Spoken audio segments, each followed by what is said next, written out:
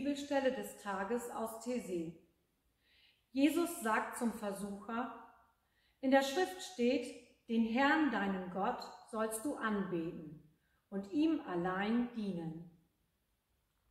Dies steht in Lukas 4 in den Versen 1 bis 13. Wir laden euch gerne ein, diesen Text zu lesen.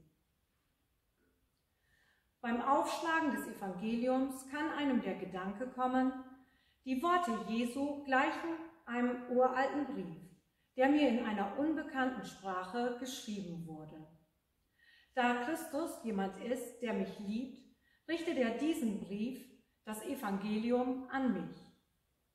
Ich versuche, den Sinn zu verstehen und ich werde das wenige, das ich begreife, in die Tat umsetzen.